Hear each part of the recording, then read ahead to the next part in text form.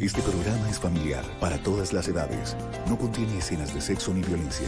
Debe ser visto en compañía de adultos. Tú nos ves. Caracol TV.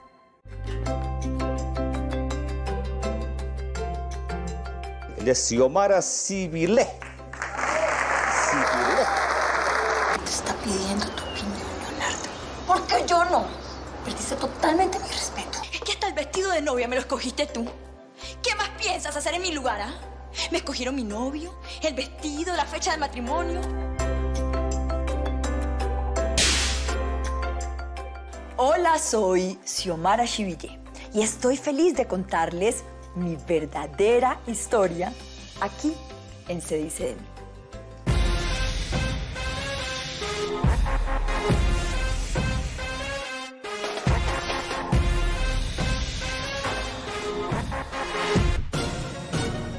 Xiomi, la modelo, presentadora, psicóloga y orientadora espiritual, recordada por ser un ícono entre los niños de habla hispana durante los 90, llega, se dice de mí, para contar su verdadera historia de vida. Quería ser monja. Por increíble que parezca, empezó a trabajar desde los eh, tres años. Realmente he tenido más puestos que un bus. Hablará sobre el impacto que vivió al conocer la noticia del suicidio de una de sus compañeras del programa que presentaba, Nube Luz. Y ese sábado, pues, decidió no existir más en este planeta. Aunque hoy goza de una vida sentimental maravillosa, su primer matrimonio no prosperó. El momento de la separación durísimo, uno se vuelve pues la guerra de los roses. El 2016 será recordado por ella como un año de profunda angustia y dolor luego de perder los ahorros de toda la vida. Tuve un momento de shock muy profundo.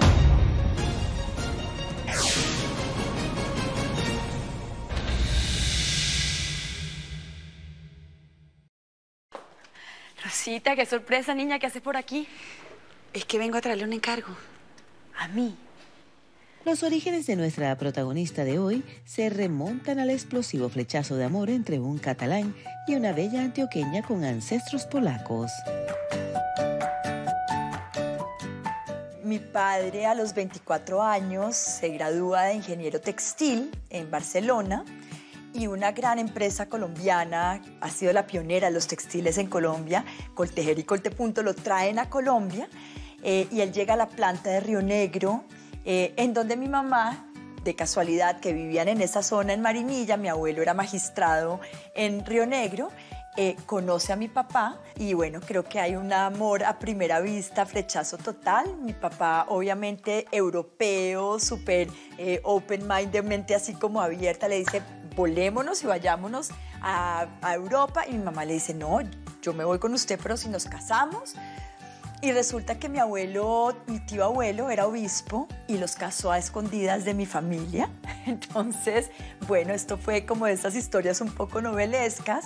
Eh, mi mamá llega a su finca divina que, que, que, tenían en Marinilla y le cuenta a mi familia que se casó, que, que, que Monseñor Aristizábal los casó y mi tío mayor los echa de la casa y bueno, terminan yéndose al Amazonas y ahí empezó como toda esa aventura maravillosa, pero así empezó como ese flechazo de amor. Es que yo no la conocí, yo la vi como una aparición.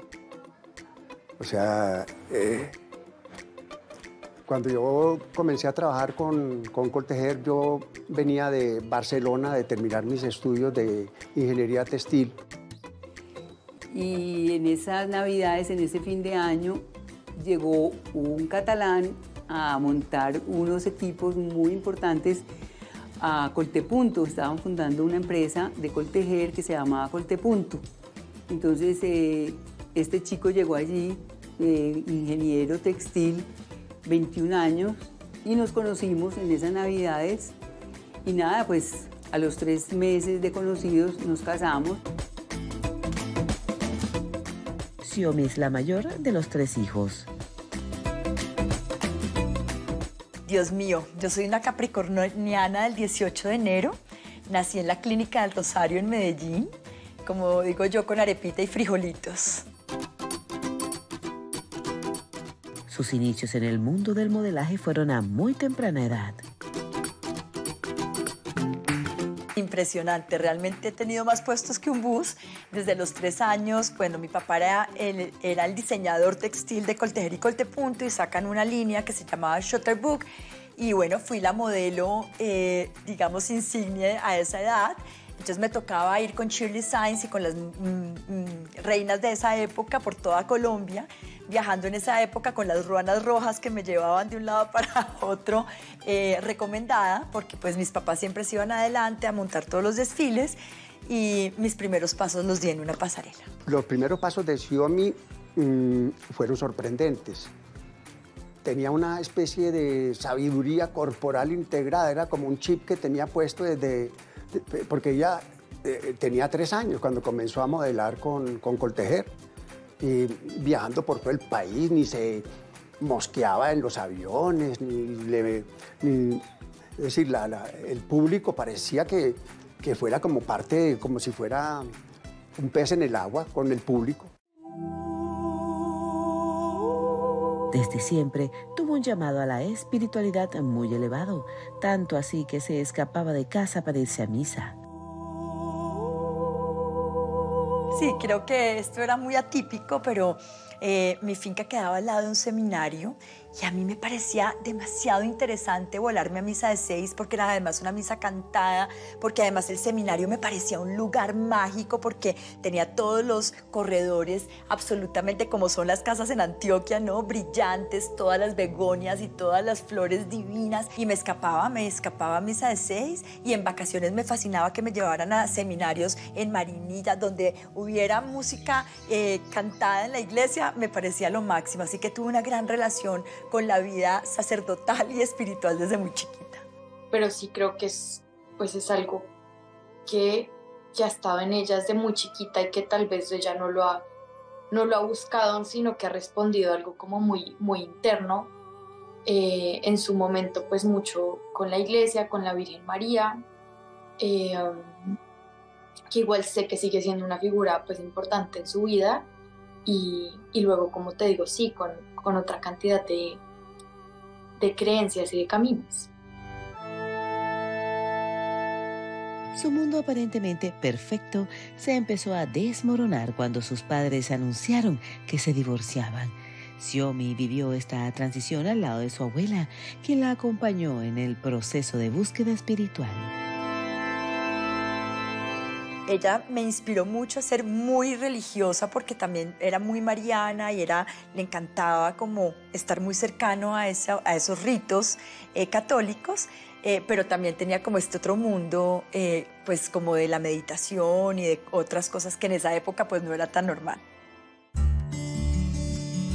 El amor volvió a tocar las puertas en la vida de la mamá de Xiomi al reencontrarse con quien fuera su primer amor durante la adolescencia y me encontré con un, un amigo, un novio que yo había tenido en la infancia, que también estaba separado y nos volvimos a encontrar y ya llevamos 40 años casados. Y se reencuentran y claro, empiezan a, a, salir juntos y se casaron nuevamente y pues nos fuimos a vivir al valle y ahí digamos que hubo como esa transición a mi segundo hogar que fue pues Cali y el valle que, que lo tengo en mi corazón.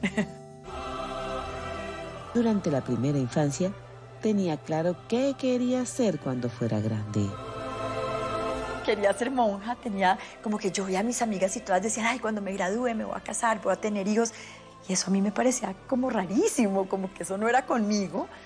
Yo me soñaba irme de misionera, yo me imaginaba, además tenía un abuelo divino español catalán que siempre tenía unas sandalias como esa de los franciscanos y te juro que para mí era una aspiración tener esas sandalias eh, de, franciscano. Y un día las encontré en Ecuador cuando hacía mi programa de Coavisa, me encontré unas vas y todavía las tengo ahí y me fascina ponerme de vez en cuando mis sandalias de franciscana.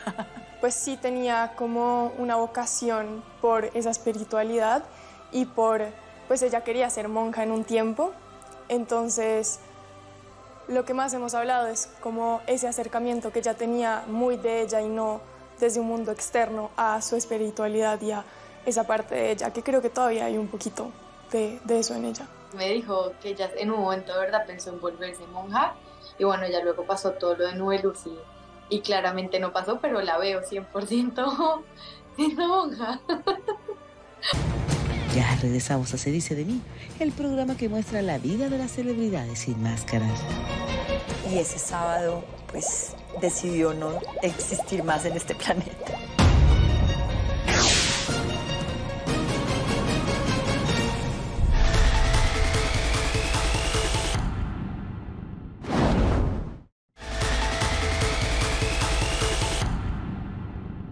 No puedo creer que esta sea yo.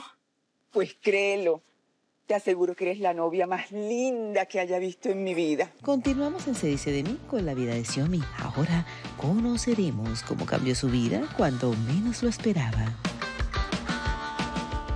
Había salido por un centro comercial con unas amigas, con un grupito de amigas, mm, y de pronto se me apareció la oficina muy exaltada, muy emocionada, a decir que se había encontrado con unos señores de, de Chica Palmolive. Era el- la, la primera vez pues, en la historia que iban a hacer ese concurso. Pues todo tiene un sentido, ¿no? Y todo fue como un... Cada, cada parte de su carrera pues fue muy, muy importante para llevarla a lo que, a lo que está haciendo ahorita y, y en el fondo no es tan diferente. Yo estaba caminando, que además estaba prohibido supuestamente salir en uniforme al centro comercial del norte en Cali.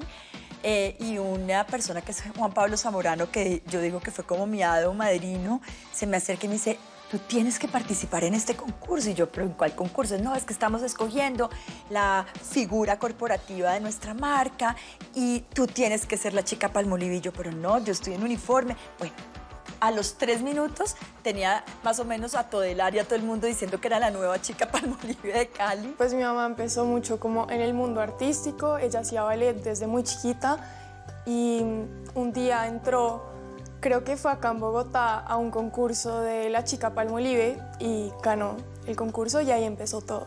Wow, teníamos un cartel muy lindo porque además muchas de ellas hoy en día, pues estaba Paola Turbay, estaba Sharik León, estaba Tatiana Ariza y bueno, muchos talentos que hoy en día fue una generación muy linda que floreció eh, pues en eso, en una Miss Universo, en, una actriz maravillosa, en una empresaria increíble como Tatiana, bueno, gente muy, muy especial. Sí, yo creo que todos los que vimos ese concurso, pues para mí una de las que más tuvo recordación fue Xiaomi. Eh, Xiaomi fue como el símbolo de ese jabón. y pues yo creo que cuando la vimos todos quedamos enamorados de ella. Pues usted decía, esa niña, ¿dónde es? Es más, mucha gente no sabía que era colombiana. La gente decía, es una gringa o la trajeron de, de por allá de Australia, no sé, por la pinta internacional que tenía.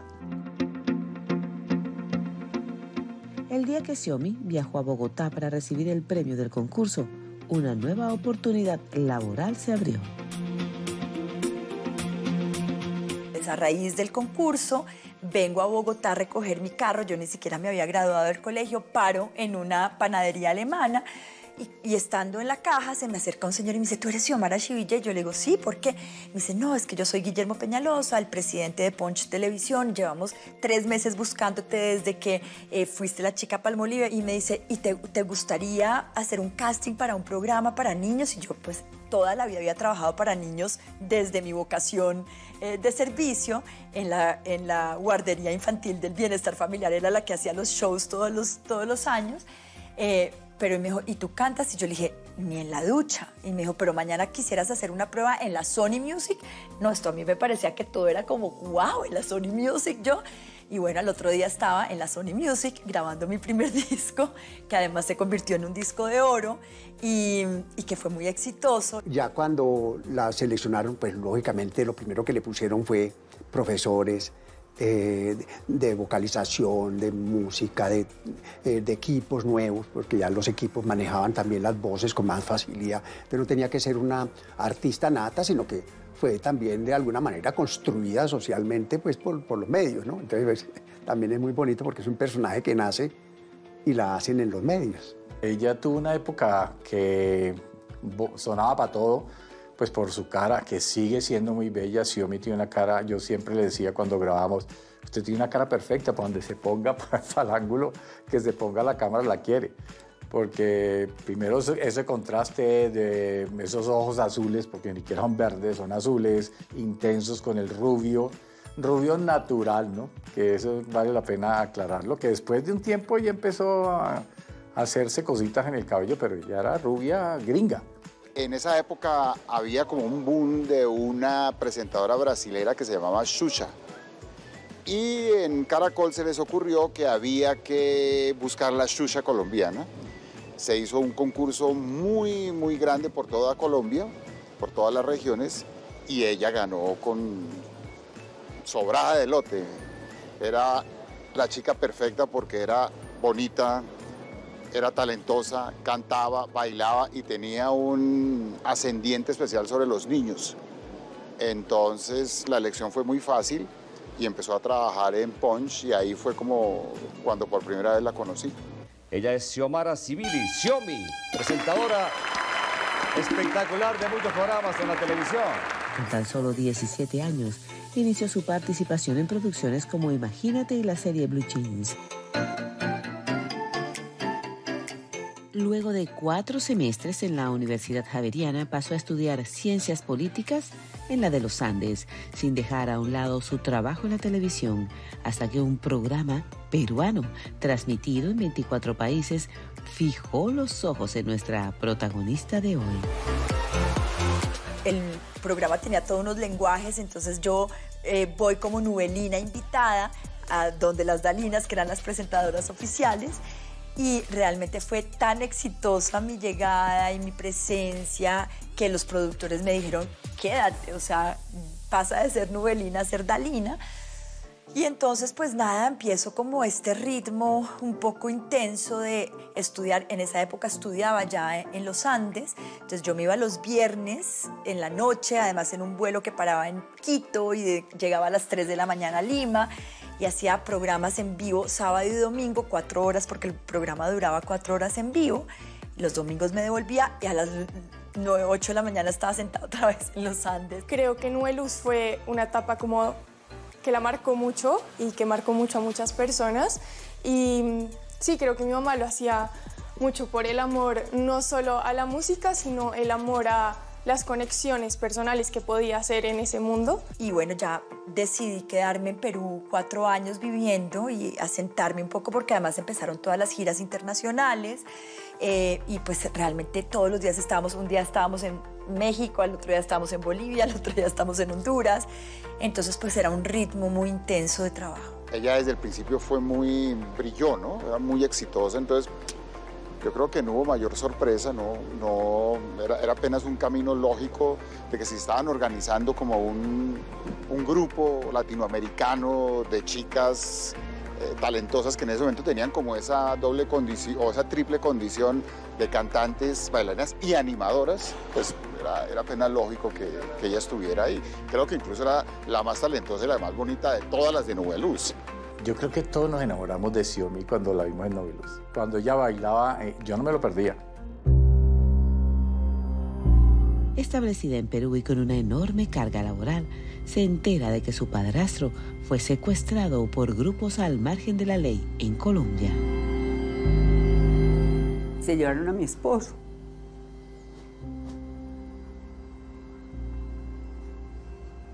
Eso nos marcó mucho, la verdad, muy duro. Fue muy duro porque fue una época muy violenta. Y mi mamá no quiso que yo viajara a Colombia.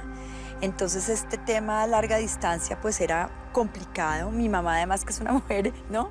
Paisa, aguerrida, eh, manejó toda la negociación, se subió a hablar, eh, incluso en ese momento, pues con uno de los líderes eh, de la guerrilla y, y, fue difícil realmente fueron 15 días muy, pues muy extenuantes para toda la familia.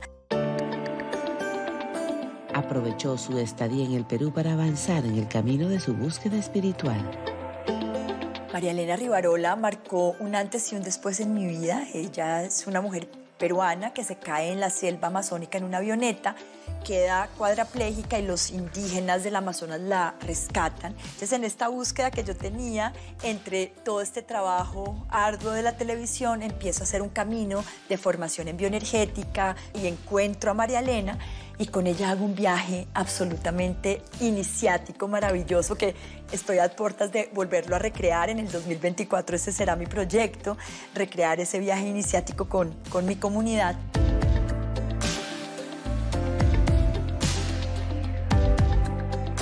Desde muy chiquita hemos estado como conectadas a la naturaleza, mis hermanas y yo, y mi mamá nos inculcó eso, pues por eso mismo, porque creo que la espiritualidad un poco más religiosa no es mutuamente excluyente de esa vida consciente con todos los seres como que habitamos en este planeta. Realmente investigarse a sí mismo internamente. Y sin embargo, es ahí donde está el verdadero viaje. El viaje externo termina, en algún momento tú llegas y logras lo que quieres, eu creio que especialmente no mundo de hoje é relativamente fácil alcançar êxito. É relativamente fácil que tu logres as coisas, objetos ou outras coisas. Pero aí termina. E que? Que vai passar contigo então? Ella es una persona que cuando asumió un compromiso y lo asumió con, como con, con, con, con este trabajo espiritual, lo lleva hasta sus últimas consecuencias y ella es una eminencia, es una autoridad y creo que esos compromisos y la intensidad con que ella asume esos compromisos eh, la, la, la, llevan a donde, a donde está. No es que aprende uno y lo deja, sino simplemente él se va como integrando y sumando a lo que vendía. Es como su propia forma de hacer, de ver, de, de hablar, de enseñar, de sanar. Pues este fue mi viaje iniciático justamente, viaje místico en enero del 94 recorrido en Pachamac con María Elena Rivarola. Aquí estamos las 12 discípulas que empezamos a hacer este viaje que empezó en Hornacinas, en, en Lima, hasta llegar pues a ese maravilloso Machu Picchu que en esa época pues no es lo que soy. Luego de recorrer toda Latinoamérica presentándose en shows para los niños que admiraban el mundo creado para las Dalinas, el equipo de Nubeluz sufre un doloroso impacto, el suicidio de una de las Dalinas. Nos reservamos su identidad por respeto a la familia. Corría el año 1994. Honro su presencia y cada vez que mm, me acuerdo o la siento, pues siento como ahí su presencia muy fuerte porque compartimos muchos, pues mucho tiempo, muchos años, muchas ilusiones. Hicimos una gira eh, a Chile que la tengo muy grabada en mi memoria. Ella acababa de regresar justamente, ella se había retirado un tiempo de Nubeluz y esa noche tuve el privilegio de ir a comer con ella y su novio eh, y fue la última vez que la vi, porque al otro día yo viajé a Colombia y ese sábado pues decidió no existir más en este planeta.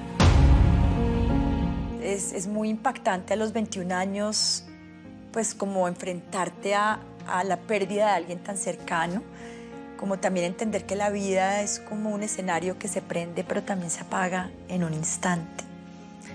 Entonces pues también fue un punto de inflexión muy importante en mi vida para entender que la casa, el carro, la beca y el televisor más grande son chéveres, pero que no es lo más importante en la vida.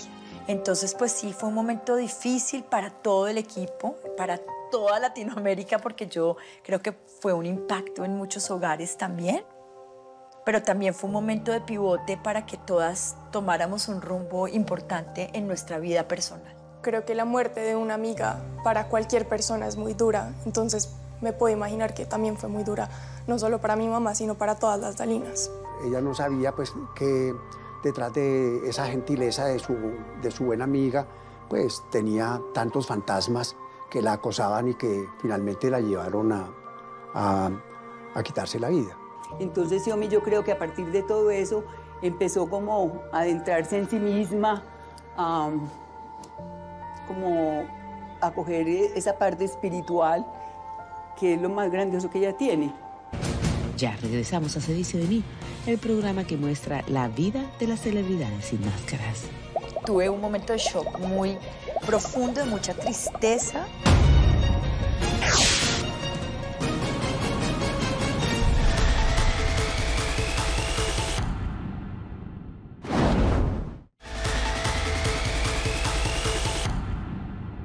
Hola, hola, buenas tardes, qué delicia encontrarnos en esta hora bonita. Entramos a la recta final en Se dice de mí hoy con la reconocida presentadora Xiomi, quien ya nos contó cómo fue su paso por Nubeluz y el duelo que vivió tras el repentino suicidio de una de sus compañeras de set. Ahora entraremos a conocer por qué su primer matrimonio llegó a su final. Fue realmente una relación hermosa que al final me dio eh, la posibilidad de tener dos hijas increíbles a quienes de verdad amo con mi corazón.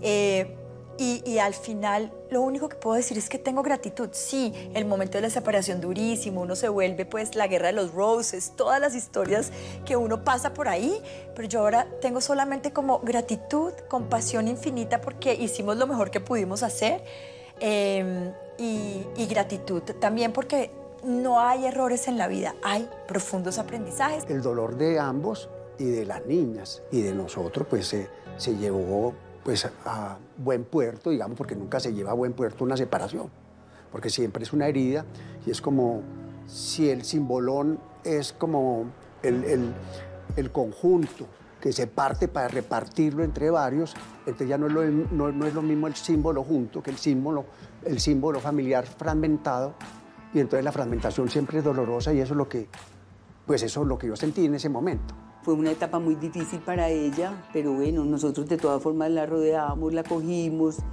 eh, le ayudamos y ella también, ella es una persona que tiene una fortaleza y tiene un espíritu muy grande, tiene su norte también muy claro de lo que ella quiere, lo que a ella le gusta. Sí, definitivamente creo que dentro de lo difícil que es eso, pues se manejó muy, muy tranquilo. Eh, yo creo que cada persona lo vive de forma diferente, pero pero digamos que eso afortunadamente nunca fue muy mediático, que yo creo que eso, eso ayudó, todo fue muy como en la familia y, y en nuestro núcleo. La actuación en la novela Tres Milagros le ayudó como terapia, como catarsis para superar el divorcio. ¿Qué quieres que ponga cara de qué? ¿Que me derrita? ¿Como en las novelas y en las películas? Apareció como anillo al dedo, o sea, con María Patricia que era histérica y que siempre estaba brava, yo creo que pude desfogar pues toda esa energía que tenía porque estaba en plena separación, o sea, todo este tema que además uno se mete a veces humanamente muy complicado. Eh, siento que María Patricia me permitió como exorcizar, ¿no?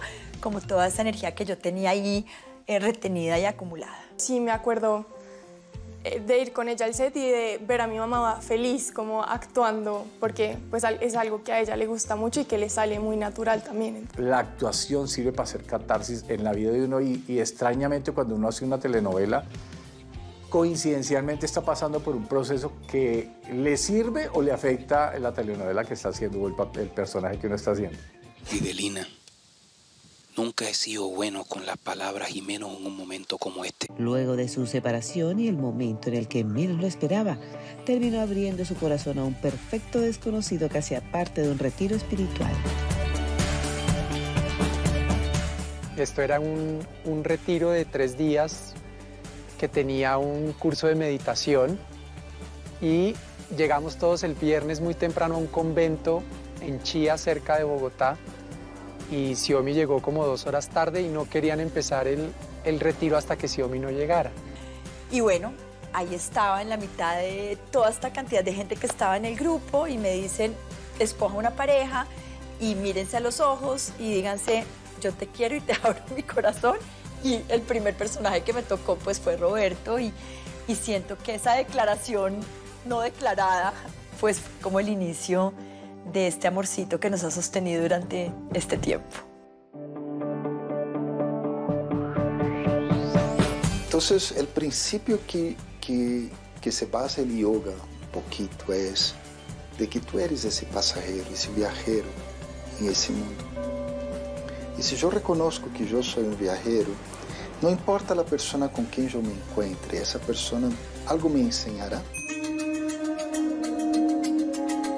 Sus hijas, Shara Luna Kutsi y Montserrat Ángeles Itzel, fueron las celestinas de esta nueva relación. Claramente Luna y Monse fueron unas grandes celestinas, eh, porque mi relación inicialmente con Roberto era como un amigo chéverísimo, un asesor increíble porque me ayudó a hacerle como toda la corrección literaria a mi primer libro que se llamaba eh, Tiempo de Siembra. Me pareció extraordinario. Me sentí como pleno, conectado. Yo en ese momento no era papá y para mí era una aspiración, entonces también era lector de las propias correcciones y sugerencias que hacía a estos contenidos de tiempo de siembra. Mis hijas lo conocen, se hace super partner de mis hijas porque además él es pedagogo, porque ama a los niños. Y un día Monse me dice, ay mamá, ¿y será que Roberto se puede quedar a dormir? Monse, la pequeña, un día me dijo por la noche, oye, pídele el cuadro a mi mamá. Sí, ¿por qué no? Porque esta noche no le, no, le dices que quiere ser, que, quiere ser, que sí quiere ser tu novia. Nosotros le decimos Rup. Le dijo, Rup, pídele a mi mamá que sea tu novia. Porque nosotros lo queríamos tanto y se sintió como, sí, tan natural desde, desde el principio que, que nada, en verdad es una fortuna tenerlo en la vida y para mí es una figura muy, muy importante. Denisita. Con su esposo Roberto Cuellar se llevan 11 años de feliz unión. Fruto de esta relación nació su tercera hija llamada Guadalupe Guaira Cumani. Su alumbramiento fue todo un suceso. Realmente fue muy mágico ese momento, tener a mis hijas en el momento del parto, o sea, tener a la familia en el momento del parto fue una cosa demasiado poderosa. Parir con mi marido ahí, eh, los dos pujando, eh, y recibir a nuestra hija y acostarnos los cuatro en la cama a recibir a esta hermanita. Es que pues solamente pienso y no, es como ah, se me agua el alma. Por eso si quieres aprender a comer sano, como come Guadalupe, quédate aquí cerquita en esta comunidad bonita y vital. Entonces buscamos nombres que le permitieran a Guadalupe en algún momento de su vida reconocer quién es ella. Guadalupe, la Virgen de Guadalupe, tiene mucho sentido para nosotros y ese es el nombre social. Cumani es gota de rocío y alguna vez caminando por el lugar donde vivimos, todas las mañanas se forman eh, arcoíris en las gotas que, van surgiendo en el pasto. Y averiguamos este nombre de la tradición mesoamericana y nos pareció un nombre que tenía mucho sentido para el color que uno puede generar cuando la luz pasa a través de uno. Entonces el Kumani en esa gota de rocío y el Guaira es un nombre que constantemente le, decía yo a Xiomi en nuestro proceso de enamoramiento como viento. Xiomi es acelerada, va de un lado para el otro, hace muchas cosas. Y decidimos que el viento podía ser un buen nombre para Guadalupe. Y de alguna forma u otra, lo que ellos sentían, y creo que vale también ahora, es que sus bebés de pronto salen un poco más naturales, más espontáneos, con una energía especial y diferente. Si así lo ha hecho la humanidad toda la vida, ¿por qué no podemos hacerlo nosotros, además en nuestra casa, que es donde nos sentimos seguros que es donde hemos estado cultivando estos nueve meses a esta semilla que tenemos. Ser parte de los arcanos, nombre que recibe un club de lectura conformado por Dao García, Víctor Hugo Ruiz, Margot Velázquez y Juldor Gutiérrez, entre otros talentosos artistas, ha sido toda una escuela. Incluso Xiomi fue parte del equipo de creativos que realizó la exitosa película El Paseo 1 cinta que ocupa el tercer puesto entre las más taquilleras a nivel nacional.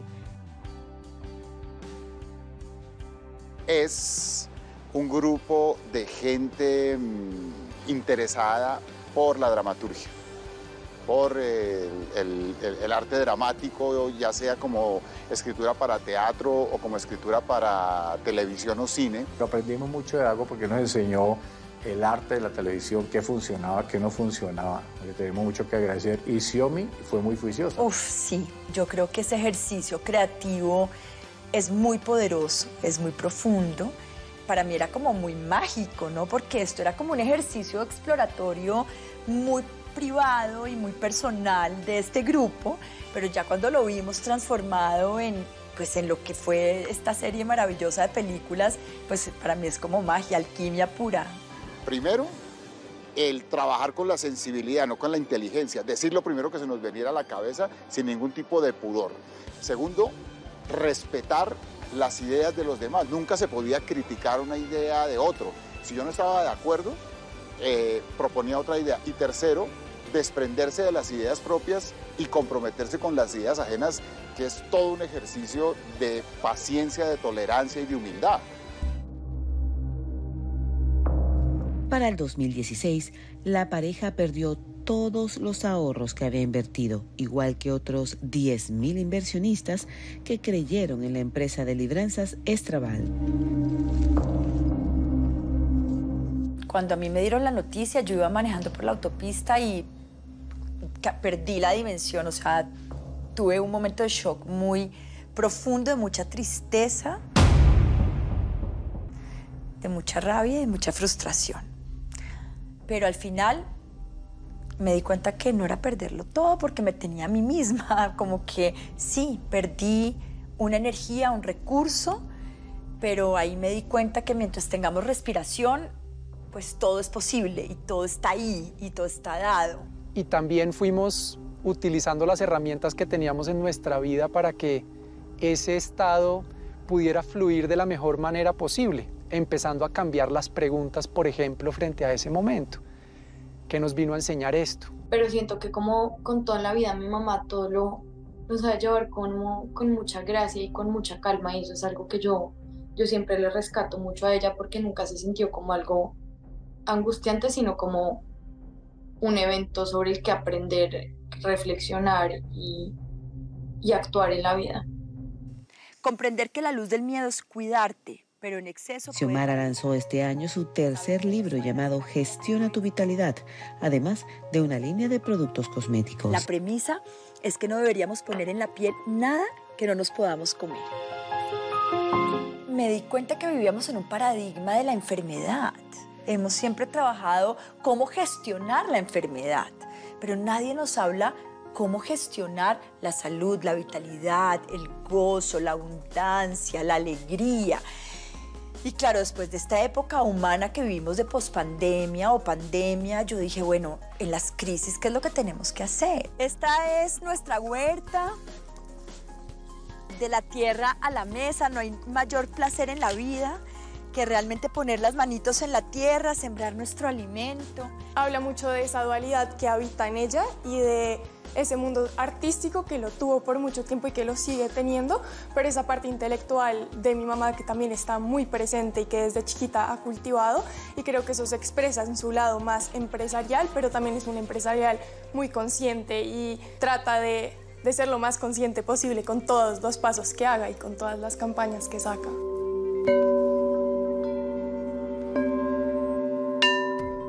Entonces ella lo que ha hecho es crear eh, eh, objetos eh, inmateriales atractivos para, para, las personas, que les ayudan en su vida. Ha logrado lo que ella ha querido, lo que ella siempre se ha propuesto, lo que ella ha querido, siempre lo ha logrado.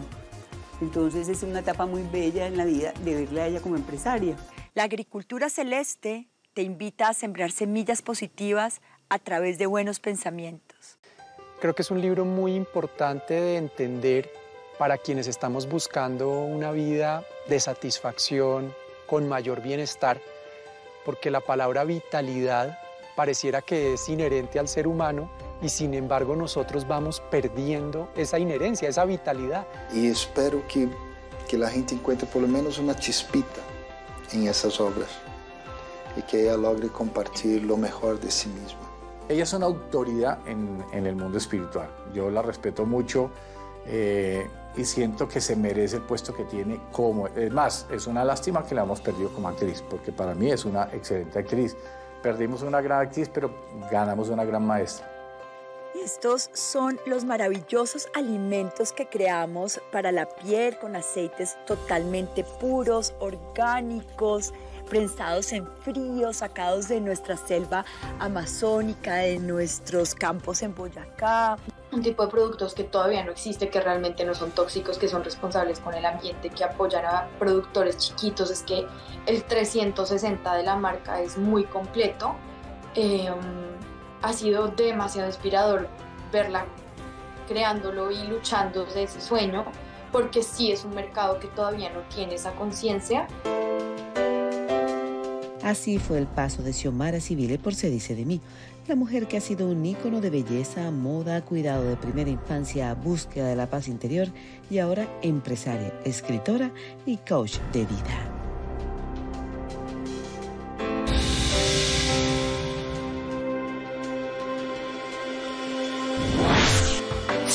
Eh, en, la parte estética, en la parte espiritual, en la parte emocional, de todo lo que nos has dado, para mí ha sido un universo maravilloso del cual he participado y del cual he bebido también. Y muchas gracias por esa vida que has disfrutado, por esa vida, por esa vida que también has compartido y por todo lo que nos has dado. Hija, tú sabes todo lo que te quiero. La verdad no vemos muy poco, pero tú sabes cómo te quiero. Te amo. Hola, mamá. Eh, no, la verdad, lo único que, que tengo hacia ti es agradecimiento por ser la persona que eres y por ser, como dije, la mejor mamá que pudo haber existido para mí y solo gracias. Gracias por todas las puertas, ventanas y paisajes que has abierto en mi vida y gracias por permitir que esta familia brille todos los días, que pueda sentirme completamente identificado, completo y satisfecho como pareja. Deseo que este tiempo de vida que nos queda lo podamos seguir disfrutando, seguir aprendiendo juntos y sobre todo agradeciendo cada instante compartido. Te amo. Te mando un saludo muy, muy especial como a todos los arcanos, a ti te llevo en un lugar muy especial de mi corazón y sobre todo de mis agradecimientos. Creo que sin esas eh, dominicales reuniones que hacíamos, mucho de mi trabajo nunca habría sido posible y eso en gran parte te lo debo también a ti, o sea que te mando un abrazo y un beso de agradecimiento. Y gracias, gracias por existir y gracias por iluminar y llevar esa paz que tienes a todo el mundo, de corazón hoy en día no pierdo la oportunidad de decirle a mi mamá lo mucho que la, que la amo y que siento su, su amor y su inspiración incondicional cada día. Me encanta que sigas en este maravilloso mundo porque necesitan muchos seres como tú, seres espirituales que transforman este mundo, que necesitamos eso, más conocimiento espiritual para que la vida empiece a cambiar.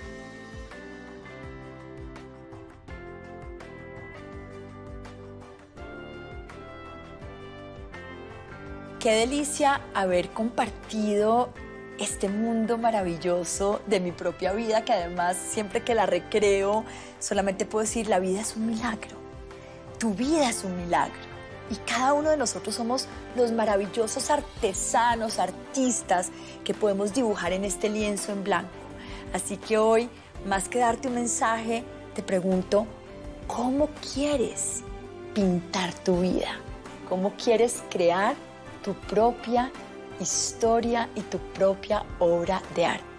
Gracias por acompañarme a recordar, es decir, a pasar por el corazón los momentos más valiosos de mi vida.